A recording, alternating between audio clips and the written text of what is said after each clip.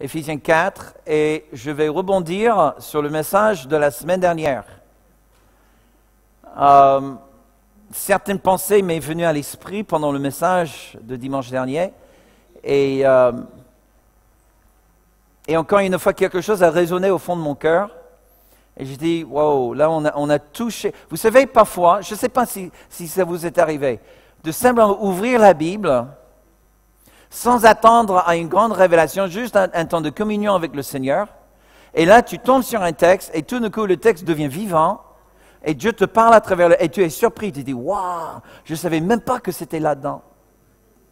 Je suis le seul comme ça? Ok, il y, a, cinq autres chrétiens dans la salle. Super. Ben, en, fait, Dieu veut nous surprendre tout le temps. C'est lorsqu'on pense d'avoir tout compris dans la Bible, c'est là vraiment on est en train de mourir spirituellement. La Bible est aussi grande que Dieu lui-même. Il n'y a pas de limite, mes amis. Hello? Et même si tu n'avais que Jean 3,16, et c'est le seul texte de la Bible que tu possédais, tu ne pouvais et tu, tu étudies ce texte tous les jours, du matin au soir, jusqu'à la fin de ta vie, tu ne parviendrais jamais à la plénitude de révélation juste en, en Jean 3,16. Et Dieu nous a donné toute la Bible. Alléluia.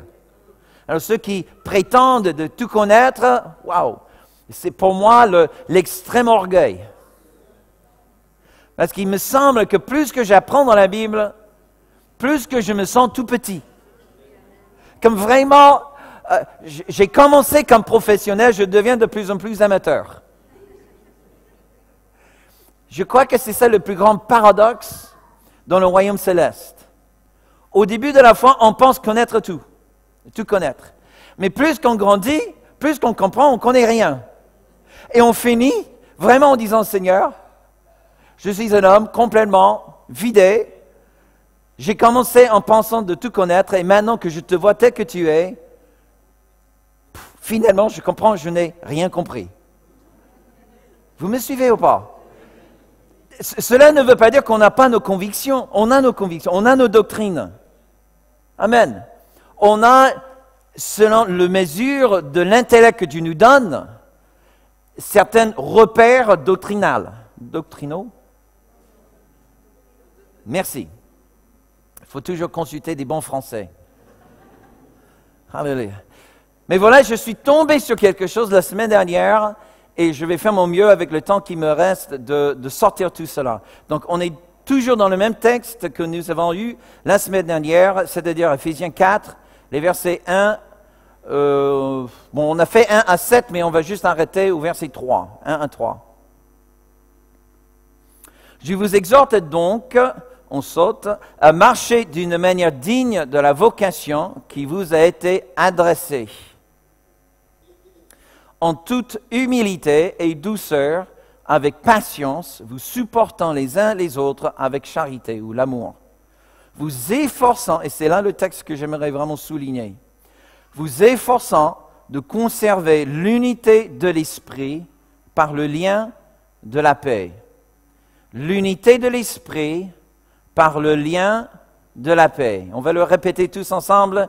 L'unité de l'esprit par le lien de la paix. Encore une fois, l'unité de l'esprit par le lien de la, paix. Amen. Seigneur, nous voulons vraiment te remettre tout ce moment entre tes mains.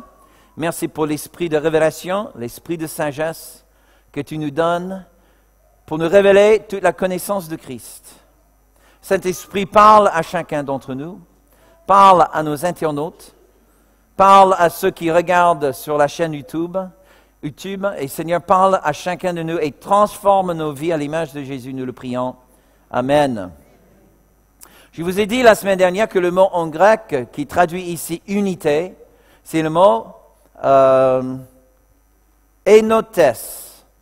Enotes. Si vous, si vous prenez des notes, c'est le mot note, N-O-T-E-S, avec he devant. Enotes. D'accord? Et ce mot n'est utilisé que deux fois dans les textes bibliques.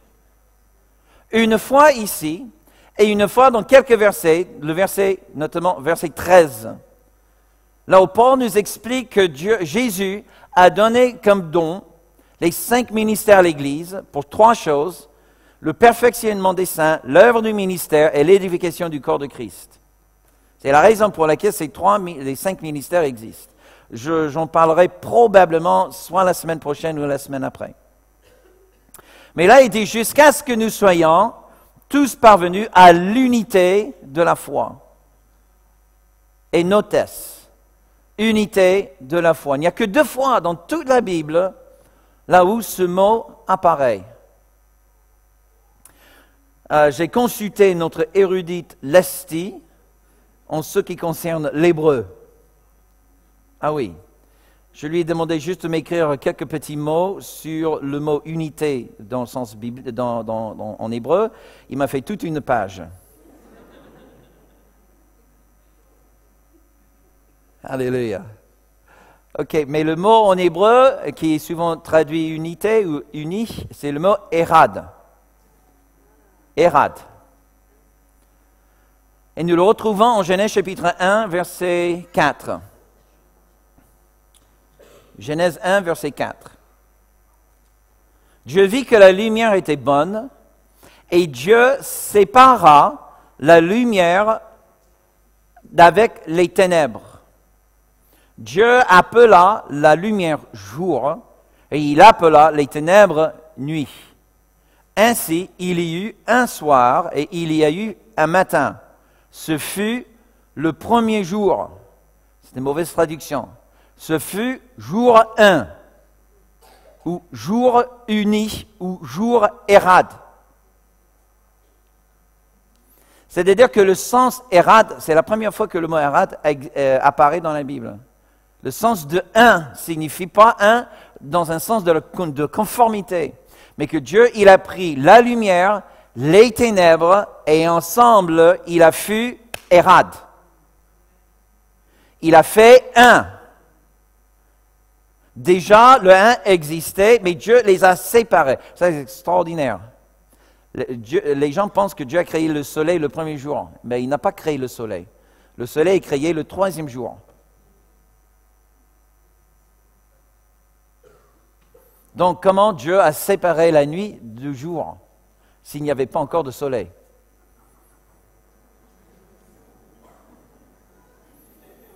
OK, là, ça commence déjà à chauffer dans la salle. On peut couper les chaudières? OK. tu vois, ça fait, ça fait tourner la tête. Hein.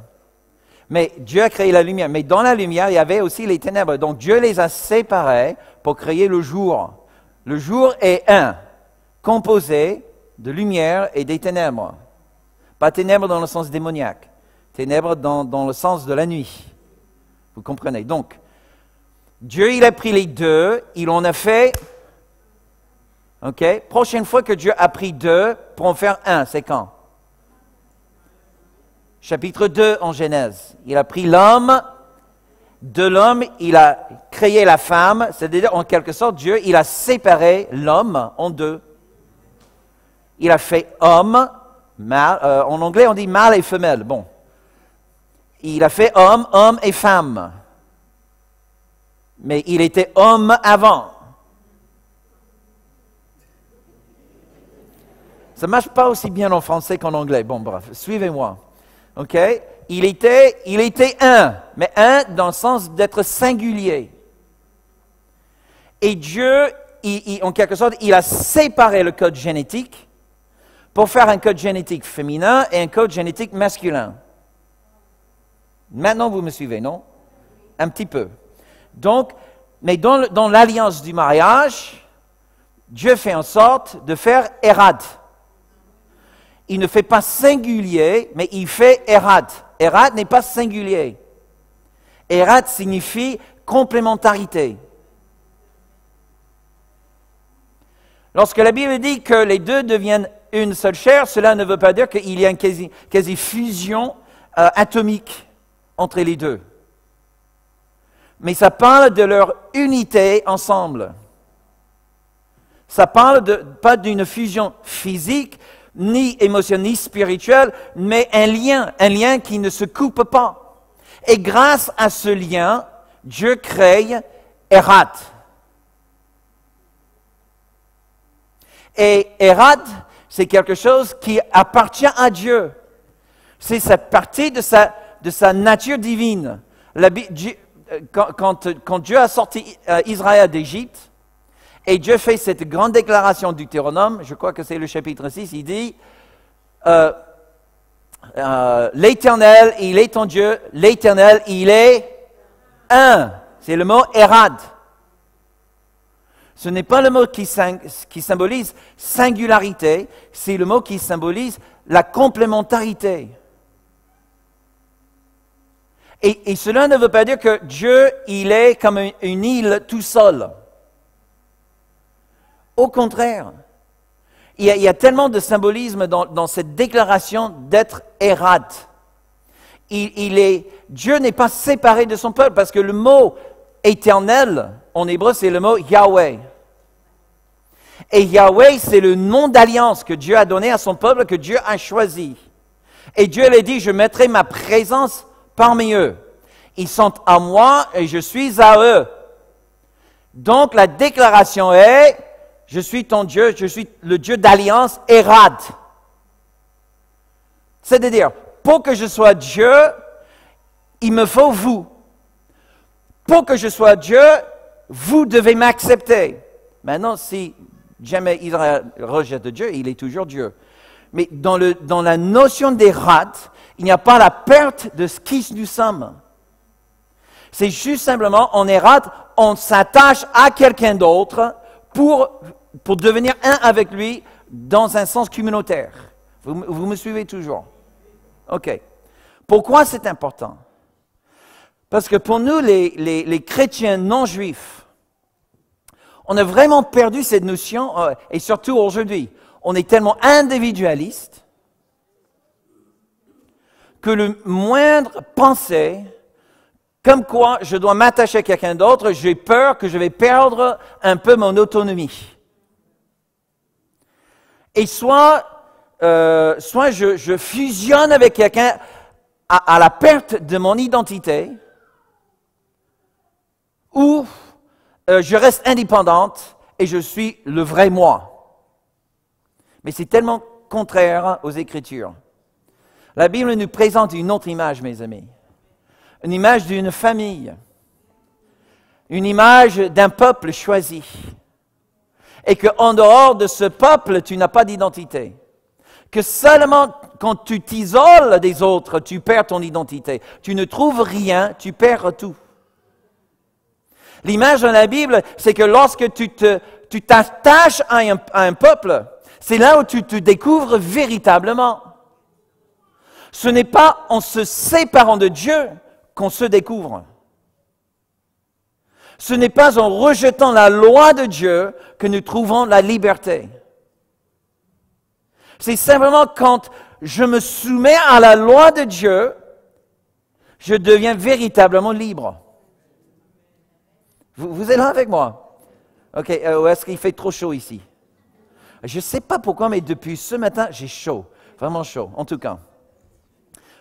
C'est peut-être parce qu'on a dansé vraiment. Je ne sais pas ce qui se passe au fond de la salle, mais sur le devant, on danse devant le Seigneur. Donc, peut-être euh, ce serait bien que vous vous approchiez euh, dimanche prochain plus vers l'avant. D'accord?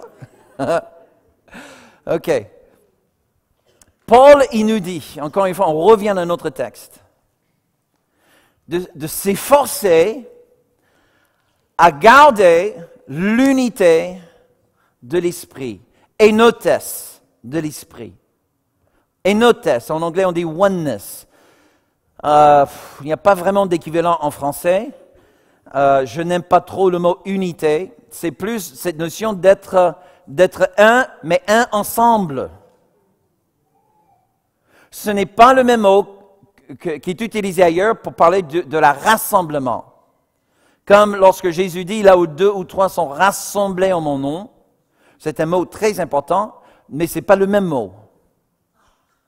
Lorsque les disciples étaient tous ensemble le jour de la Pentecôte, et le Saint-Esprit a été déversé, c'est un autre mot, très important, mais un autre mot. Ce sens de enotes est très particulier et pour moi le plus proche au mot hébraïque euh, erat. C'est-à-dire que je m'attache aux autres, je ne me perde pas, mais en m'attachant à quelqu'un d'autre, je me trouve.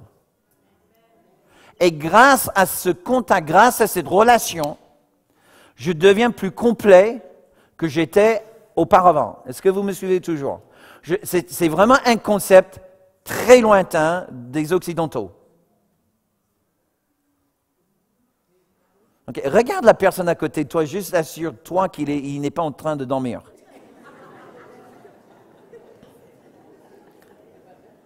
OK.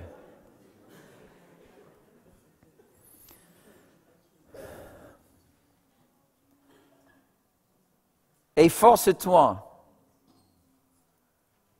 Et force-toi de garder cette unité.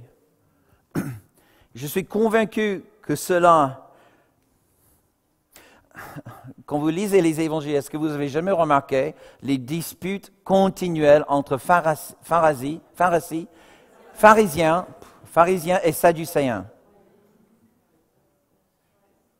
Il est, pour moi, il est très difficile d'imaginer Hérode parmi le peuple juif à l'époque de Jésus. Parce que franchement, dans la Bible, et même dans le livre des Actes, vous vous souvenez, la fois où Paul s'est fait arrêter et, euh, par les Juifs, il savait qu'à peu près moitié-moitié, Sadducéens et pharisiens. Les Sadducéens n'acceptaient pas la résurrection des morts et les pharisiens, oui. Et Paul, comme il ne voulait pas trop euh, jouer leur jeu, ils ont fait simplement mentionner la résurrection et entre les deux, ils sont tombés dans une telle dispute, ils ont oublié Paul.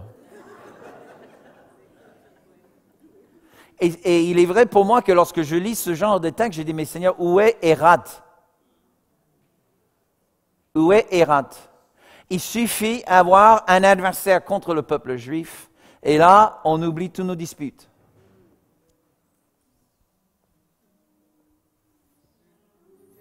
Je ne sais pas comment vous avez vécu euh, votre, votre enfance. Moi, j'ai quatre frères et sœurs euh, et on se battait tout le temps. Tout le temps. Et, euh, mais une fois, une fois, j'ai fait l'erreur monumentale de, de, de, taper mon frère, mon petit frère, en public. Et là, mon père, ou quand il a appris cela, bon, j'ai pas pu m'asseoir pendant des semaines.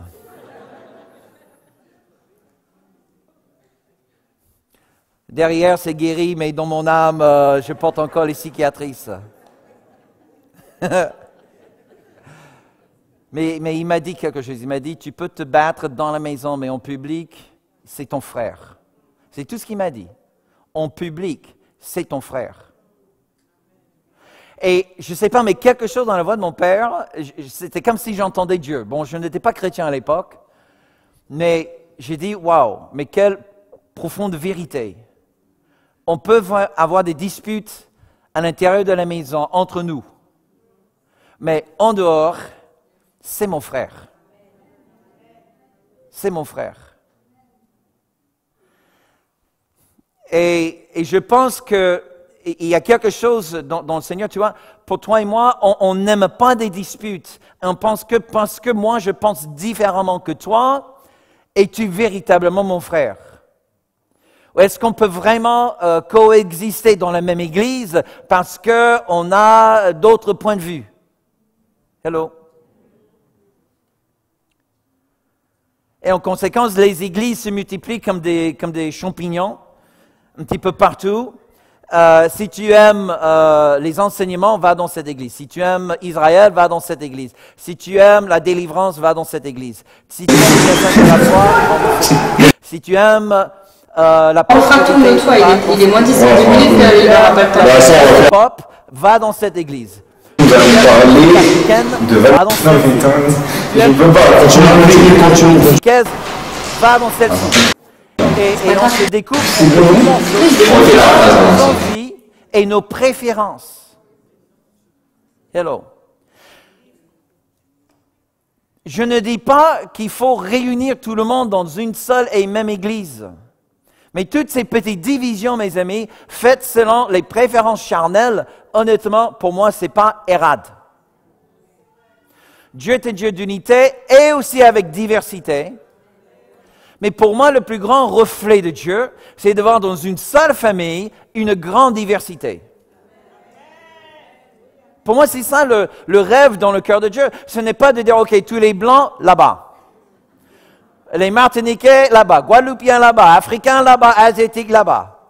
À mon avis, ça, c'est pas le plan de Dieu. Et parce que je ne pense pas qu'au ciel, il y a un quartier européen un quartier asiatique. Je pense pas. Hein. Et on ne sait pas quoi faire avec les Américains. Euh, bon, ils vivent dans les caravanes au fond. Voilà. Non, je pense que, que, dans, dans, le cœur de Dieu, dans le cœur de Dieu, Dieu veut apprendre à une culture de vivre à côté d'une autre culture, de, s'honorer dans un respect mutuel, hello, et de célébrer les aspects de culture respectifs qui glorifient Dieu. Parce que pour moi, Dieu, il a mis un petit peu de, lui-même dans chaque culture sur la terre. Il faut juste trouver ces éléments dans chaque culture et célébrer ces éléments. Et peut-être euh, les, choses qui ne glorifient pas Dieu, bon, on les met de côté. Amen.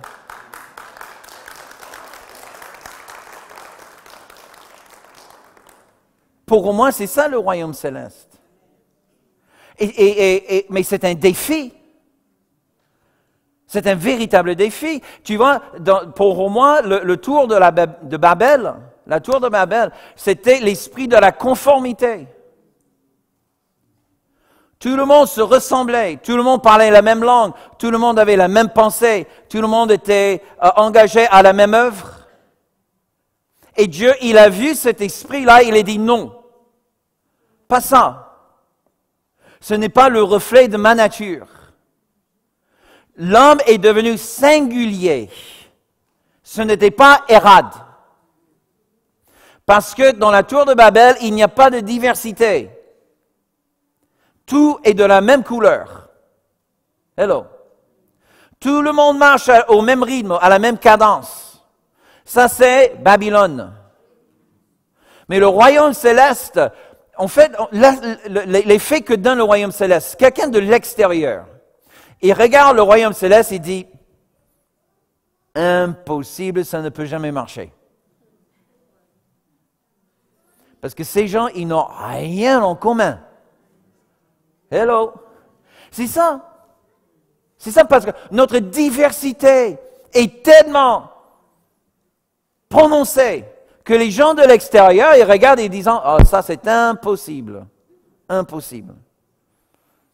Mais avec Dieu, euh, ce qui est impossible pour l'homme est possible avec Dieu. Amen. Et Dieu se réjouit dans cet impossible. Donc, si Dieu est le Dieu de l'unité, si Dieu est le Dieu de Enotes, Erad, nous pouvons croire que Satan cherche à exploiter cela.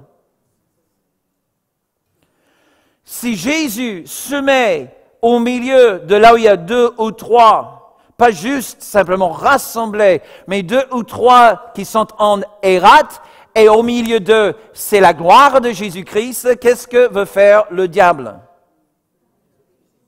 Tout à fait, il veut diviser. Le diable veut semer la division, la séparation. La diversité vient de Dieu, la division vient de l'enfer. Est-ce que vous voyez la différence entre les deux? Alléluia. Tu as droit à ton opinion, mais tu n'as pas droit de bâtir un mur face à quelqu'un avec une autre opinion. Hello. Gloire à Dieu. OK. Euh, euh, ah, c'est bon, c'est bon, c'est bon. J'arrive, j'arrive. Euh, en Luc chapitre 12. Luc 12 et le verset 52. Luc 12, 52 et 53.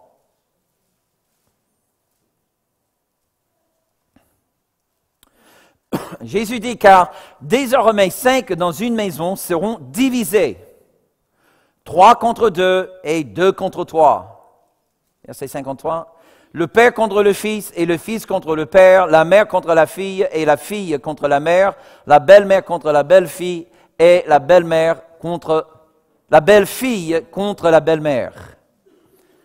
La division. Jésus parle d'un temps où Satan sera vraiment un expert à semer la division. Et remarque dans quel contexte il cible la division. Où ça? Dans la famille. Dans la famille. Pourquoi? Parce que la famille doit être vraiment la manifestation parfaite du Hérad. La famille doit être vraiment la manifestation de Hérad. C'est-à-dire, parce que, pourquoi? La famille est fondée sur l'alliance du mariage entre papa et maman. Voilà Hérad. Les deux deviennent un. Les enfants sont le fruit de Hérad. Et il arrive un moment là où les enfants doivent entrer de leur plein gré dans les rades des parents. Hmm. Vous me suivez toujours? Je vais le répéter, ok? Dieu prend un homme, il prend une femme, il les mène ensemble en alliance. Le lien de l'alliance crée Erad. Ils sont un, divers mais unis. Le fruit de leur unité, c'est les enfants. D'accord? Les enfants, bon, quand ils sont tout petits, ils sont portés par les parents, mais il arrive un moment, toujours, et là je parle aux parents, vous le savez, il y a toujours un moment clé et critique dans la, dans la vie de l'enfant où il est face à une décision pour me trouver, soit je me sépare de mes parents, ou soit j'adhère à ce que croient mes parents. Hello. On arrive toujours. Et mes amis, constamment, je vois que le diable est là pour semer la division. Toujours. Jésus l'a dit. Dans une famille de cinq, il arriverait là où deux sera contre trois et, deux, euh, et trois contre deux ou ce serait le père contre le fils, ou le fils contre le père, etc., etc. Et moi, je trouve ce phénomène toujours à l'œuvre, même aujourd'hui. Et, je, pense que cela est vraiment précieux au cœur de notre Papa céleste aujourd'hui. Peut-être parce que le bon berger, en tant qu'Église, en tant que communauté, on commence à arriver à une sorte de transfert générationnel, si je peux le dire comme ça. C'est-à-dire que quand tu regardes les, les, anciens, les responsables dans l'Église aujourd'hui, la plupart d'entre nous, on a à peu près le même âge. On a des enfants à peu près au même âge.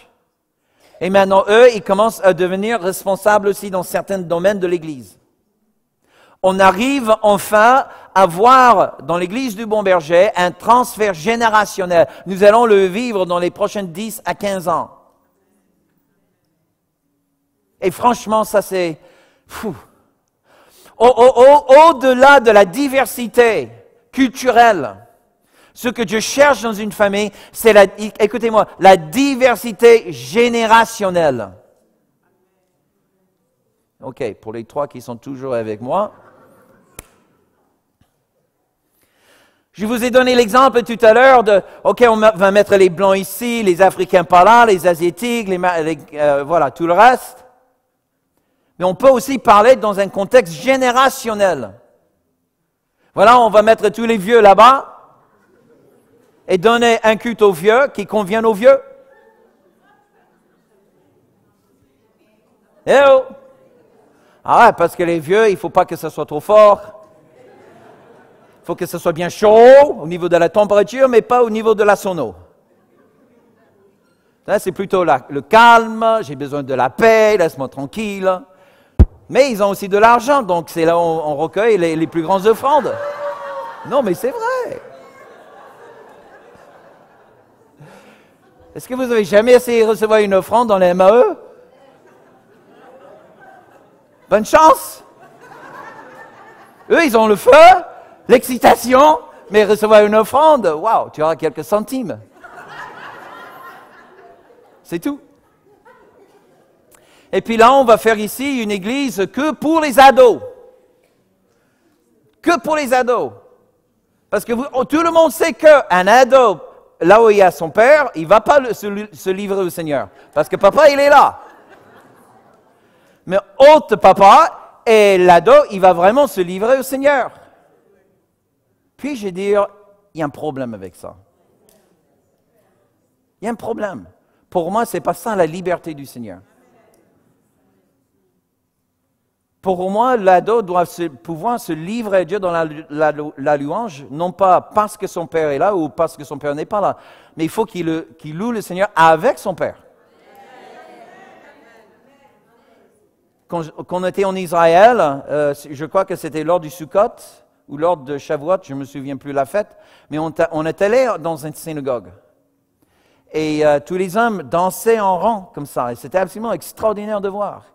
Et ils étaient super accueillants. Ils nous ont laissé participer avec eux. Et euh, tu, tu avais, des papis. Mais franchement, j'avais vraiment peur qu'ils allaient mourir d'un, d'un cœur- euh, crise cardiaque. Parce que les papis, vraiment, tu voyais les papis à 85 ans, mais qui dansaient, qui transpiraient, euh, qui se donnaient complètement à Dieu. Ah ouais, c'est impressionnant. Et ils ne sont pas habillés en, jogging et basket. Ils sont dans des, dans des trucs noirs, euh, chapeaux. Des... Je dis, mais comment vous faites? En Israël, il fait chaud quand même. Mais il y avait aussi des, des, des hommes, des, pères de famille, il y avait des, des jeunes hommes, il y avait euh, des adolescents, il y avait même des enfants. Il n'y avait aucune distinction d'âge. Tout le monde était là, tous unis, en érade, en train d'adorer le Seigneur. Et pour moi, c'est ça ce que Dieu recherche. Et c'est exactement ce que le diable veut arrêter. Il veut arrêter l'unité générationnelle. Il veut arrêter une hôtesse entre les générations. Tu vois, tellement, on est tellement linéaire, parfois, mes amis, qu'on ne pense pas dans un contexte trois-dimensionnel. C'est-à-dire, on pense que, OK, si je travaille vraiment avec beaucoup d'amour pour être uni à mon frère qui est à mon côté, Alléluia, gloire à Dieu, au moins pour la semaine. Mais ce que Dieu cherche, et ce que Dieu veut faire ici à Berger, et là je vous pro- prophétise par le nom du Seigneur, ce que Dieu cherche avec nous, ce n'est même pas une église qui est une bonne église aujourd'hui, même pas une église qui sera une bonne église dans cinq ans ou dix ans. Si Jésus ne revient pas avant, Dieu, je vous dis au nom de Jésus que ce que Dieu fait avec le bon berger, c'est de construire une église multigénérationnelle qui dans 50 ans, soit 80 ans, sera nettement plus forte et plus glorieuse qu'elle est aujourd'hui. C'est ça ce que Dieu cherche. Il ne veut pas une église qui va mourir avec le mort du fondateur. Il y a beaucoup d'églises aujourd'hui que si jamais le pasteur principal meurt, ou disparaît, ou commet une faute grave, c'est la fin de l'église. Et certaines, je vous vois, vous, êtes déjà, vous avez un certain âge dans le Seigneur, vous, avez, vous pouvez déjà nommer des églises en région parisienne que vous avez connues à l'époque, des grandes églises, de la gloire de Dieu, miracles, conversion, tout ce que vous voulez, mais ces églises sont vraiment, si elles existent aujourd'hui, mais ce n'est pas du tout dans la même forme qu'elles avaient au, au- au début. Elles ont connu un temps de gloire, mais de la gloire, elles sont passées dans la misère. Et ce que Dieu veut bâtir ici, il, il- il nous donne quand même une révélation que vraiment, qu'il est le Dieu d'Abraham, d'Isaac et Jacob. Qu'est-ce que j'entends par cela? Il est un Dieu multigénérationnel.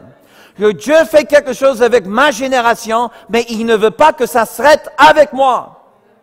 Il veut que mes enfants puissent bâtir ce que, sur ce que moi j'ai fait, ou ce que Dieu a fait en moi. C'est ça ce que Dieu veut. Et c'est exactement ce que le diable, il cherche à détruire. Il veut détourner le cœur des enfants des parents. Hello. J'aimerais vous encourager, si vous avez des enfants de, de, de bas âge à la maison, mais bénissez-les tous les, tous les semaines, au moins une fois par semaine. Prenons un temps là où vous, vous affermez vos enfants. Mais vous aussi, vous transférez en eux cette croyance que Dieu a fait, quelque chose avec papa et, Dieu va faire quelque chose avec toi, mais tu vas bâtir ce, ce que Dieu a fait avec papa. Tu n'es pas un, une île tout seul. Tu es mon enfant. Et Dieu a placé en moi des richesses que je te laisse comme héritage. Maintenant, j'ai de bonnes nouvelles pour ceux et celles qui n'ont pas des parents chrétiens. Il faut qu'on aille vite. Euh, tournez au proverbe rapidement. Proverbe. Parce qu'il faut qu'on prie à la fin. Il faut qu'on se batte pour nos familles et pour l'héritage de nos familles. Cette notion d'héritage générationnel, je sais qu'au mois de novembre, j'en ai, touché, euh, un mot. Je ne sais pas pourquoi, mais ça me revient constamment. Cette notion, ce n'est pas que mes, enfants sont sauvés grâce à moi. Chacun est sauvé uniquement par sa foi en Jésus-Christ.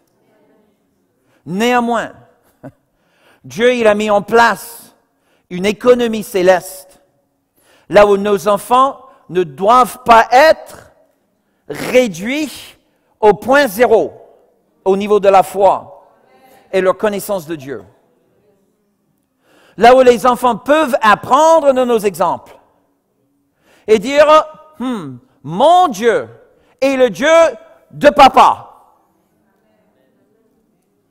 Alléluia. Éventuellement, le Dieu de mon papa est le Dieu de mon grand-père. Et parce qu'il a fait ceci avec mon grand-père, il a fait cela avec mon père, il le fera avec moi, parce que Dieu, il est fidèle. Il est fidèle de génération en génération. Alléluia. Regardez Proverbe 13 et verset 22. Proverbe 13, 22. Et là, j'aimerais vraiment parler à ceux qui n'ont pas de parents dans le Seigneur. OK? Peut-être tu n'as pas un père spirituel. Mes parents de, naturels, biologiques, sont toujours en vie. Et j'ai une énorme admiration et respect pour mon père euh, biologique. Mais mon père ne peut pas me laisser un grand héritage spirituel. Je l'honore parce que c'est un grand homme, mais ce n'est pas un grand chrétien.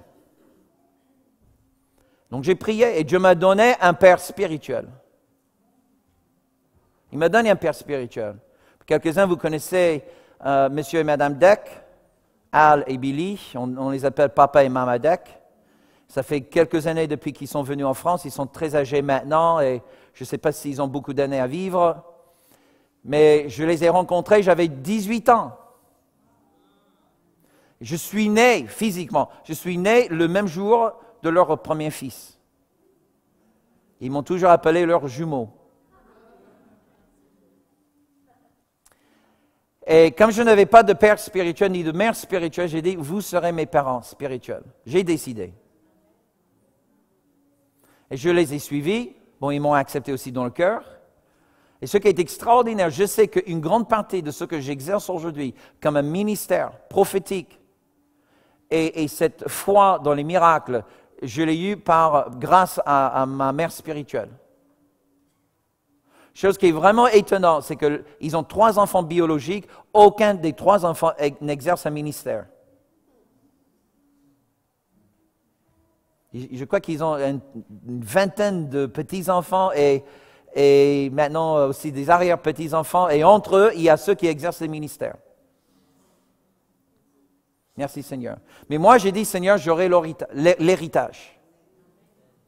Et j'ai trouvé le texte. Proverbe 13 et le verset euh, j'ai dit 22. Euh, Ce n'est pas le texte que je voulais, mais on va le lire rapidement. L'homme de bien ou l'homme juste laisse pour héritage, il laisse un héritage aux enfants de ses enfants. OK? Ça veut dire qu'un un homme bien dans le Seigneur, il va toujours laisser un héritage. Y a-t-il des hommes bien dans l'Église?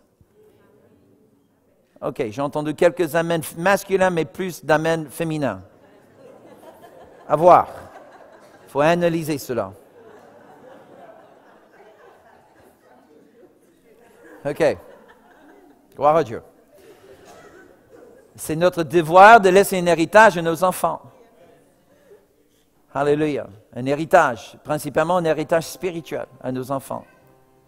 OK. euh, regardez Proverbe 19. Voilà pour, les, pour ceux et qui n'ont pas de, de papa et maman spirituels. Euh, dont des parents ne sont pas des parents vraiment dans le Seigneur. 19, versets 13 et 14.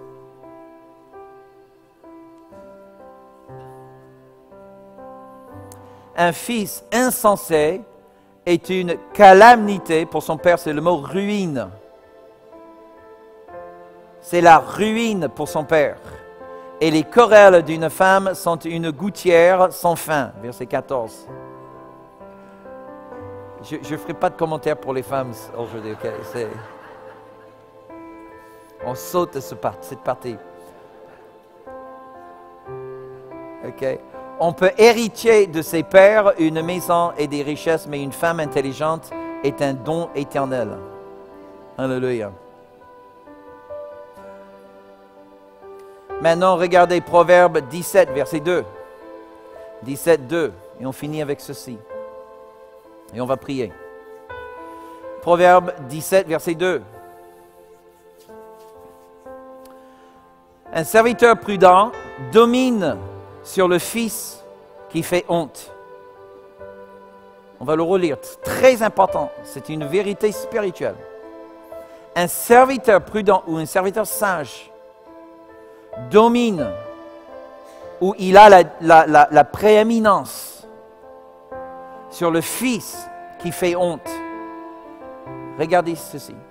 Et il aura sa part, il aura part à l'héritage au milieu des frères. C'est-à-dire, même si tu n'as pas un parent qui est dans le Seigneur, si tu t'attaches à quelqu'un qui est dans le Seigneur, peut-être tu dis, oui, mais je ne suis pas son fils biologique, je ne suis pas sa, sa fille biologique, mais si tu dis, mais ok, je serai juste un serviteur, vaut mieux un serviteur prudent, sage et fidèle que le fils qui, qui fait honte. Pas, dans le sens qu'il est un mauvais fils, mais tout simplement, il s'est séparé de son héritage. Là où il dit, je ne le veux pas, je ne veux pas mon héritage. Je vais chercher ma gloire ailleurs, je n'ai pas besoin de papa ni maman. Et Dieu dit, à la place du fils, je, je lèverai le serviteur et il aura part dans l'héritage. Pourquoi? Parce que Dieu est un Dieu d'héritage. C'est un Dieu d'héritage. Je réclame les héritages de tous les gens qui, sont, qui ont fait des exploits pour le Seigneur et qui n'ont jamais laissé un fils, une fille spirituelle. Vous vous rendez compte, depuis des générations en France, de génération en génération, Dieu, il a fait des exploits, mes amis. Il y a des terrains vides. Il y a des héritages qui ne sont pas encore réclamés. Pourquoi? Parce qu'ils n'ont jamais laissé un fils. Il suffit qu'un peuple se lève qui comprenne cette unité générationnelle et qui dit, Seigneur, on n'est pas une île toute seule. On n'est pas un peuple séparé de notre passé, mais on va trouver dans le passé quelque chose, hallelujah, qui est pour nous juste et bon. Et on va s'attacher à cette chose et on va réclamer l'héritage. Vous savez que juste ici, dans le 7e siècle, à, Saint-Denis, il y a eu euh, des missionnaires irlandaises, irlandais qui sont venus s'implanter une base missionnaire. Et de Saint-Denis, ils ont envoyé des missionnaires partout en France. Et même, et c'était eux qui, étaient les premiers chrétiens à évangéliser la, Scandinavie. Ici même. Ici, on, on appelait ça la plaine. La plaine voyageur. Pourquoi? Parce que des gens venaient des quatre coins du monde. Ils sont venus ici. Et Dieu les a touchés ici. C'est pour ça que Bon Berger est là. Parce que nous cherchions un héritage. Et Dieu a dit, il y a un terrain vague ici.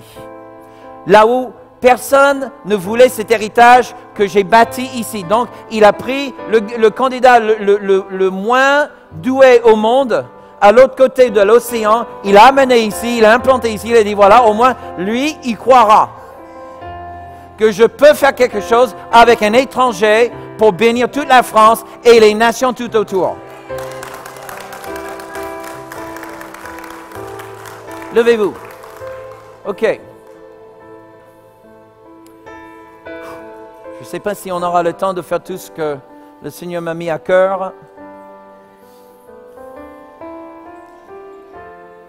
Laissez-moi voir les mains de ceux qui sont déjà dans leur cinquantaine ou soixantaine ou au-delà.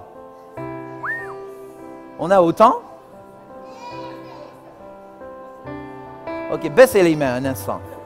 Vous êtes plus nombreux que je pensais. Ok, laissez-moi voir les mains de ceux qui sont dans leur quarantaine. Les quarantaines. Le- le- Levez la main, les quarantaines. Ok. Très bien. Baisse les mains. Euh, ceux qui sont dans leur trentaine, levez, levez la main. Les trentaines. Ok. Très bien. Je vois que sur le visage de plusieurs, vous faites des crises déjà. euh. Oh Imaginez ma, crise émotionnelle quand euh, aux États-Unis, je suis allé au cinéma avec un pasteur là-bas, il m'a invité. Et euh, j'ai eu droit à une réduction de prix. Parce que dans cet état, au-delà de 55, on a des réductions de prix. J'ai dit, c'est- j'ai fait une crise, j'ai fait une crise, je vous dis. euh, J'ai fait vraiment une crise. Non, je me paye la plein prix. Ceux qui sont dans leur vingtaine, levez la main. Les vingtaines. OK. Bon, ce n'est pas une science exacte, mais vingtaine, trentaine, euh, vous êtes à peu près pareil en nombre. OK, maintenant, le grand défi. Les adolescents. Les ados. OK. Il y a quelques-uns au MAE, oui, OK. Euh, oui, ils sont euh, sur la plateforme, OK.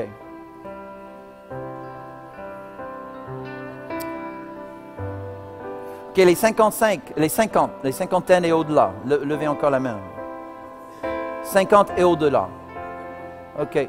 Non, juste un- une seule main. Ah, ça dépend, hein? Alléluia! OK. Ga- ga- Gardez juste la... euh, euh, tu, peux le baisser à, moitié euh, pour que ça se fatigue pas trop. non, je n'ai pas dit ça exprès.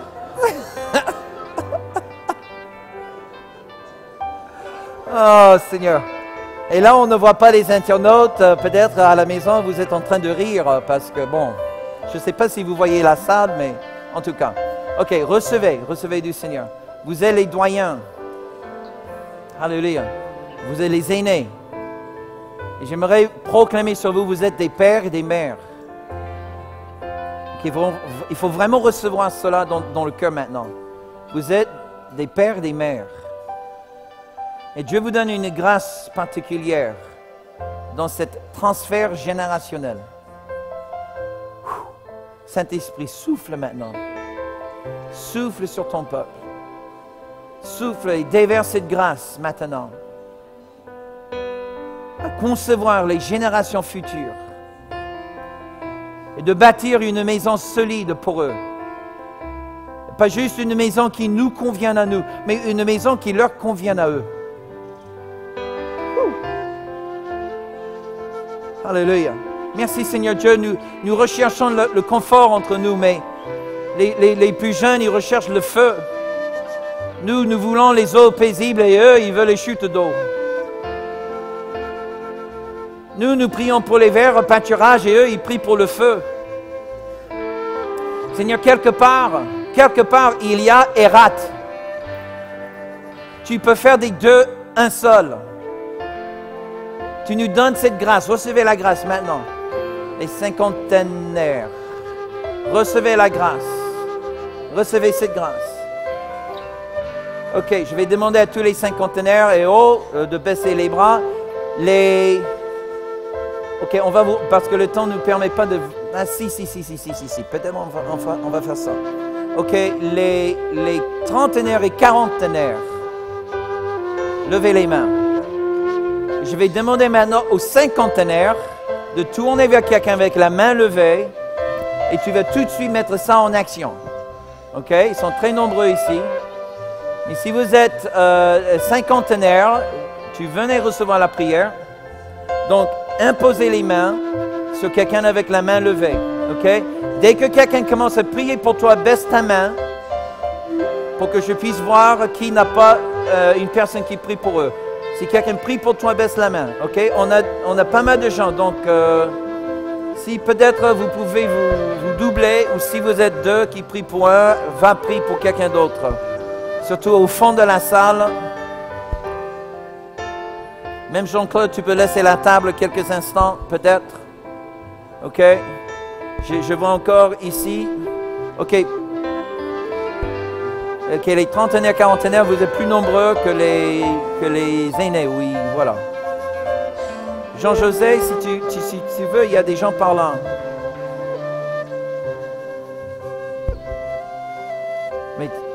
Tu, tu- veux, tu...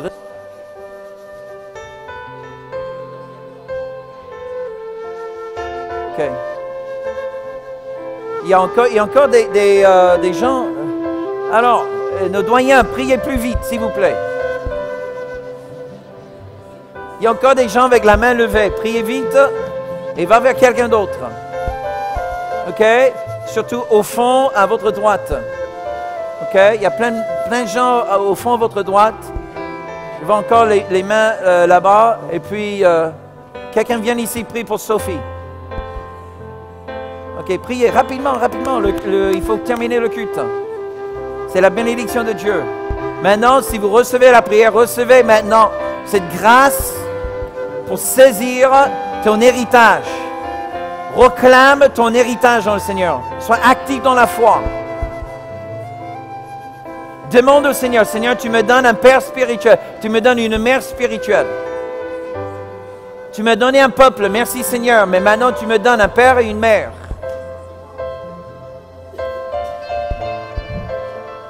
OK. Et où sont nos... nos- euh, OK, ce que je vais faire, je vais demander aux adolescents et aux vingtenaires, si- vous avez des 20 ans, si vous avez moins de 30, venez ici sur le devant, rapidement. Même ceux qui sont sur le plateforme. Si vous avez moins de 30 ans, venez sur le plateforme. Et si quelqu'un peut aller chercher les enfants, les MAE, rapidement, parce que normalement, ils sont déjà terminés. OK, ve- venez et juste mettez-vous euh, côte à côte. Ouais, mais pourquoi vous ne voulez pas lever la main tout à l'heure? J'ai vu trois mains levées. Alors, il se trouve que vous êtes plus nombreux que je pensais. OK. OK, faites votre mieux à vous mettre côte à côte. Il y a beaucoup de- d'espace sur ce côté-là. OK? OK, écoutez-moi. OK, on, va juste baisser les instruments juste un instant, s'il vous plaît. OK, tout le monde, écoutez-moi. Ça, c'est très important parce qu'on a peu de temps. J'ai vraiment peu de temps pour expliquer. Dieu veut faire quelque chose de- de très, très, très important. C'est un point tournant dans la vie de l'Église. Vous comprenez? C'est un point tournant dans la vie de l'Église. OK? Euh... Jeune homme, t'as quel âge? 18 ans. Ah, c'est Brian. Je t'ai pas reconnu de, de- de derrière ta... ta... C'est très beau. Brian, 18 ans. Incroyable. Écoute, j'ai- j'ai- je suis devenu pasteur à plein temps à 21 ans. À 21 ans. J'avais, simplement trois ans plus que Brian. Lorsque le Seigneur m'a mis dans le ministère à plein temps, pasteur adjoint d'une église. OK? Qui ici a 21 ans? OK, j'avais, j'avais votre âge. Quelqu'un ici a 28? 28 ans? OK, j'avais 28 quand j'ai fondé cette église. OK, j'avais 28 ans quand j'ai fondé l'église et j'étais encore célibataire et je ne parlais pas un mot de français.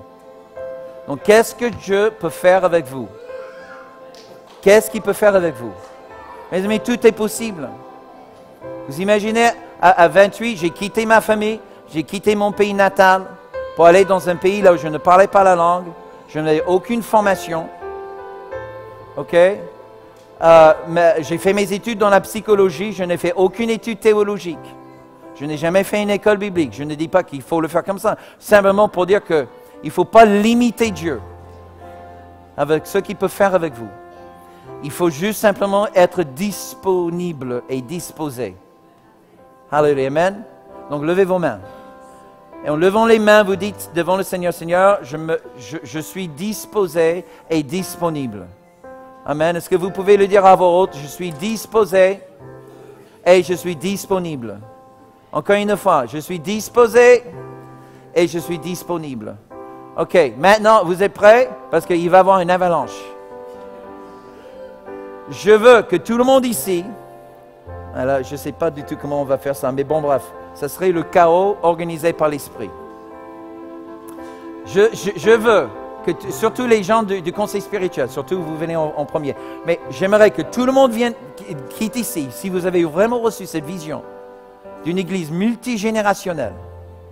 Vous devez maintenant venir et bénir l'un de ces jeunes. Vous devez venir prophétiser selon la mesure de votre foi et proclamer que la vision que Dieu va leur donner pour l'église du Bon Berger sera plus forte que la vision que Dieu t'a donnée. Que la vision que tu as pour voir la France sauvée, ok, sera multipliée et amplifiée en eux. Que le désir en toi de bâtir cette église, que Dieu fasse naître en eux aujourd'hui ce même désir, mais encore plus fort de venir à notre côté, faire Erat, que nous soyons un ensemble. OK?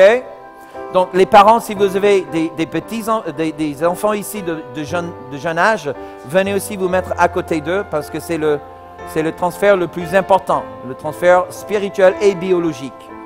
OK, venez maintenant, venez rapidement et il va falloir peut-être passer par la, la première ligne et venir euh, prier pour ceux qui sont au fond. Venez, venez, venez. N'hésitez pas parce qu'on a déjà dépassé notre temps. On a énormément de concentration ici. Juste infiltré. OK? Infiltré. Venez, tout le monde. Si vous êtes responsable de cellule, si vous êtes responsable de département, Alléluia, venez rapidement. Même si vous êtes nouveau dans l'église. Y dire, Bénédicte, vous pouvez venir aussi. N'hésitez pas. OK? Juste venez prier pour quelqu'un. Il faut prier peut-être pour deux ou trois. Venez passer derrière, parce qu'il y a plein de jeunes ici, derrière. Vous pouvez même passer par l'estrade pour faciliter, passer par derrière. Même si vous êtes visiteur ici, vous, vous- ne savez même pas si c'est l'église, votre église ou non. Vous pouvez venir aussi. Il y a des jeunes ici, beaucoup de jeunes là. Il y a quelques-uns ici aussi. Vous pouvez venir passer sur l'estrade, sur les marches.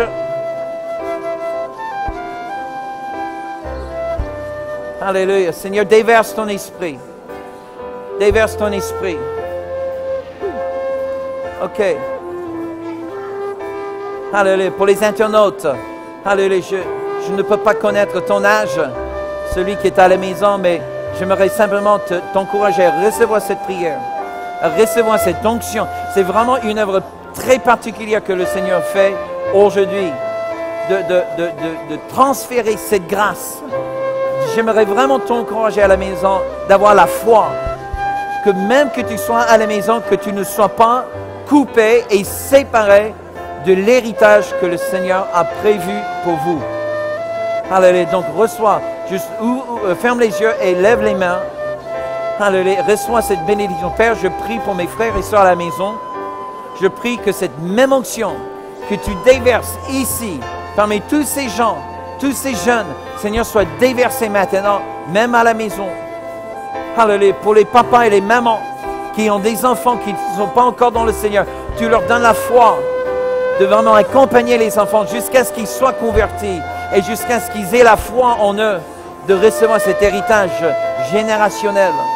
Seigneur, cette grâce, je déclare la même grâce sur tous nos amis à la maison, tous ceux qui regardent par Internet actuellement, ceux qui regardent sur la chaîne YouTube, Seigneur, tu les bénis. Tu, transfères cette grâce maintenant, maintenant, au nom de Jésus. Je déclare, érade, érade, mes, amis internautes, même que tu sois loin de nous géographiquement et loin de nous émotionnellement, mais je déclare érade sur nous. On fait un ensemble pour la gloire de Dieu. Alléluia, au nom de Jésus. Je dois vous laisser là. Alléluia, mais continuez dans la foi du Seigneur Jésus. Je vous aime. Gardez contact avec nous. OK? Ne reste pas là dans l'anonymat. OK? Fais-nous connaître ta présence. Et si vous avez des sujets de prière, envoie-les euh, pour que nous puissions vous garder aussi dans la prière pendant la semaine. Soyez bénis et puis à la au dimanche prochain. Bye bye.